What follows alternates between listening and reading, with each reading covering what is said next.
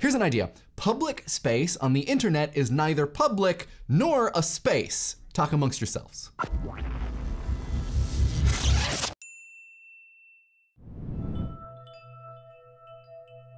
On the internet, you meet lots of people, you have lots of conversations with strangers, and you end up in spots where it feels like anyone can gain access. So it would be understandable if you thought of the internet as a public place, but is it? Is the internet a public place?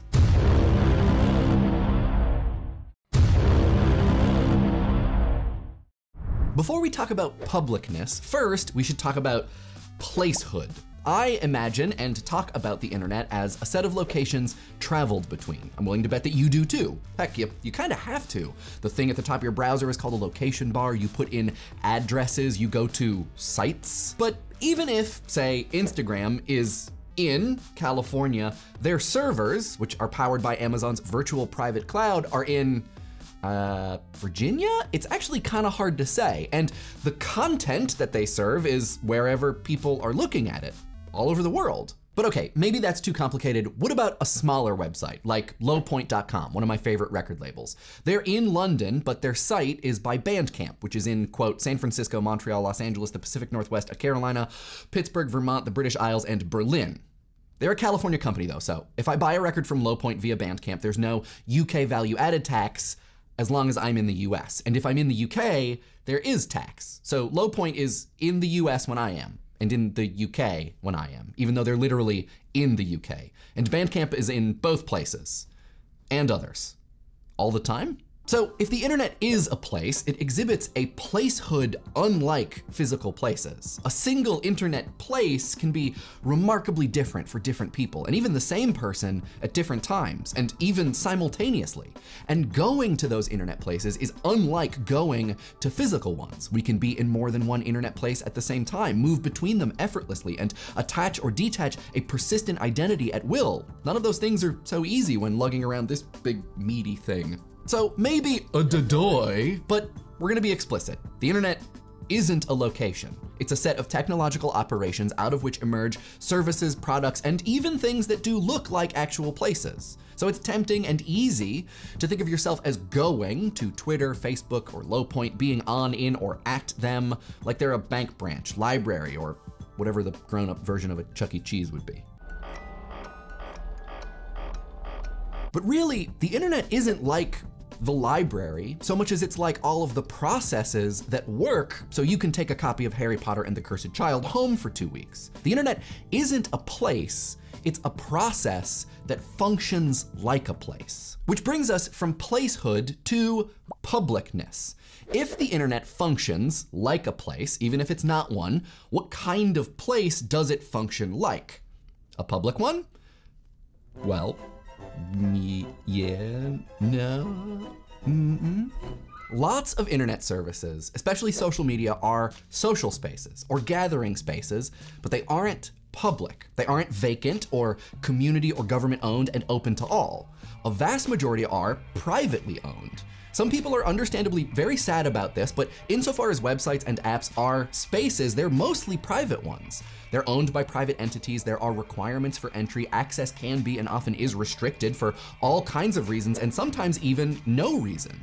These characteristics make a space the exact and categorical opposite of public. Mm, but, and this is a big mm, but, through the mid to late 20th century, there was a kind of lamentation that citizens, especially in the West, became more private and didn't use physical public spaces as they once did to gather and meet other citizens. As a result, one line of thinking goes, democracy actually suffered. Not meeting in public to discuss, demonstrate, and defend meant that we became insular sticks in the meat space civics mud, which is an image I'm just gonna let you sit with for a couple seconds.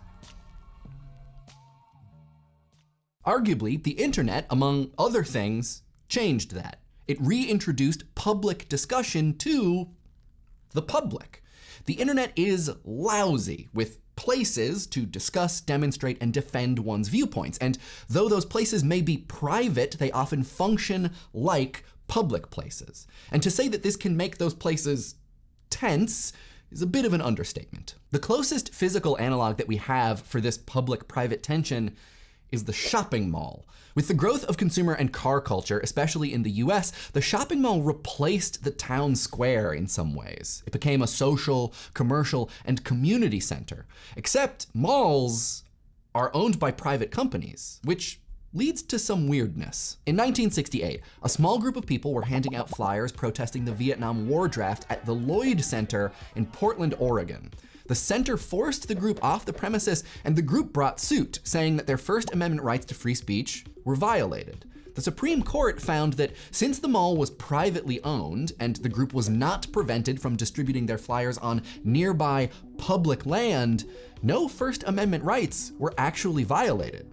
Source. And again, in 1980, a similar but more complex situation arose in California.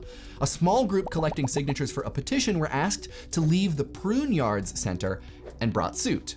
The Supreme Court found in favor of the petitioners, not the mall this time, but only because California's constitution specifically affirms the right to free speech, meaning under the federally held First Amendment, there is no implied right to free speech at a private shopping center. But under California law specifically, there sometimes is.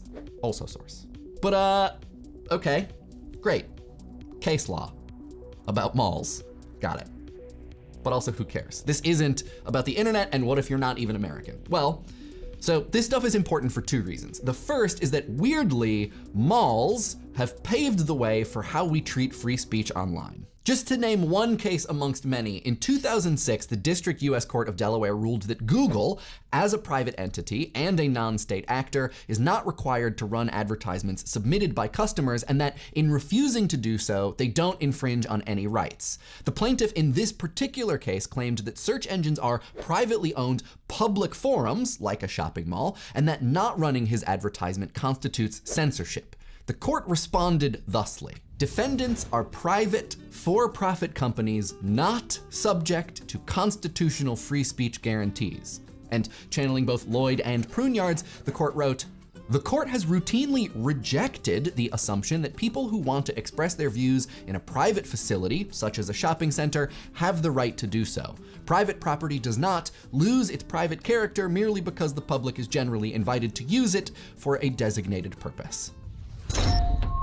Of course, there are counter arguments. When Google or Facebook or Twitter becomes so big or common or relied upon, and there is no reasonable alternative, what happens?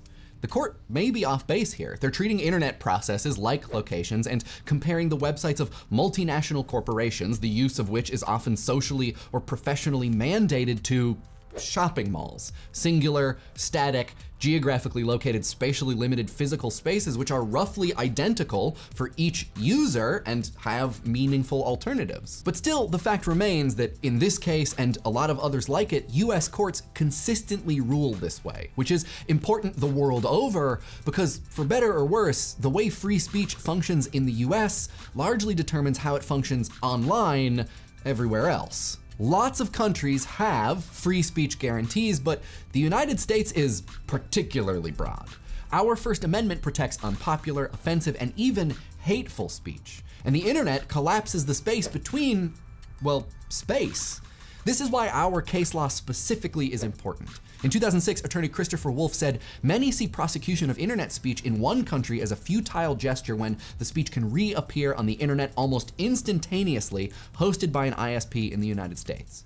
In other words, give us your tired, your poor, your huddled masses yearning to deny the Holocaust, I guess. With recent and controversial European anti-hate speech laws, that may be changing, but another factor is that American culture is often synonymous with popular culture, and therefore internet culture.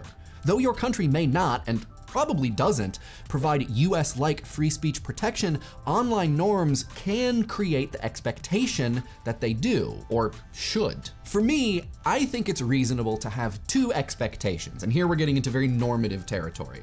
The first is that there are places online that should provide full access to free speech rights. Build a community that respects that norm and say whatever you want, as long as it's legal. Get all the criticism and high-fiving that you want for your edgy, controversial, and uncommon opinions and revel in the civic possibility of the marketplace of ideas. Hmm. The second very reasonable expectation is that not every place online is that place. That some online services, like malls, are not and are not required to be a public forum for speech purposes. Pursuant to the editorial, curatorial, or community goals of its owners, platforms may not want to and are neither legally nor morally obliged to publish things they don't like. True, that may seem unjust sometimes. So, as a corollary expectation, communities should expect clear, well communicated, and enforceable guidelines, terms of service, standards, whatever you want to call it. You should expect those guidelines be respected, consistent, proactive, and community focused. Expect as much from one another as you do from the powers that be, and know what options exist when those expectations aren't met. The result of unmet expectations shouldn't be surprising. Misunderstandings arise when the two spaces I just described collide on one service and the people running the show provide no clarification as to which they've intended. Inaction is always easier, and often it's even profitable, I mean, preferable. But at best, such an approach is confusing, and at worst, it's cowardly maybe even dangerous. So even if it feels like every internet place should or can be, not everyone is public. And that's okay. What do y'all think? What are the reasonable expectations that we can have concerning person to person communication in this complex public private space that is the internet? Let me know in the comments and I will respond to some of them in next week's comment response video. In this week's comment response video, we talk about your thoughts regarding No Man's Sky. If you wanna watch that one, you can click here or find a link in the doobly-doo. Hey, also, it's really nice to be back. We had a really great week off. Uh, in case you missed it in the intervening time during last week, I made a post on the subreddit about the upcoming Idea Channel book club, the first instance of this thing we're gonna try. Uh, and to start, we're gonna start reading um, Pierre Menard, author of The Quixote by Jorge Luis Borges from his Labyrinths collection, um, and I think it's in a couple other collections too. If you're interested in that, uh, we'll put a link in the description so you can check out the nuts and bolts for that. We're gonna have that book club discussion on the subreddit on August 24th, starting in the afternoon. Uh, Eastern time, and I imagine that it will extend beyond that to the next couple days. I'm super excited. I think it's gonna be really fun. So if you're interested, yeah, links in the place where all the links are. Also, very germane to this week's episode and something that wasn't written when I wrote and then we filmed it is uh, this uh, BuzzFeed news piece by Charlie Warzel that is a great read and very sort of uh, related to this conversation about what it means to be, as Twitter has described itself, the free speech wing of the free speech party on the internet. It's a great read, very related, highly recommended. And last but certainly not least, on August 31st in New York City at Union Hall, I am gonna be part of an Atlas Obscura live show, which is gonna be really fun. If you don't know Atlas, they're a great website that collects oddities from around the world, places that you can go visit and see. They're doing a show about rivals, and I am gonna be talking about the history of the rivalry between people and chess playing computers. So if you're in and around New York City on August 31st, you should come hang out. I'll put links also to where you can get tickets, you know, around. We have a Facebook and IRC and a subreddit links. I mean, you know where all the links go. And this week's tweet of the week is everybody who included us in their top seven fave YouTubers list. It was really awesome and really humbling and very, I was turning red for the for a period of about two days, seeing everybody who included us in such great company. So thank you, thank you, thank you. It, it really, it made not my day, but it made, you know, two to three of my days. So you're all tops. And last but certainly not least, this week's episode would not have been possible or good without the very hard work of these mall rats. It's a schooner!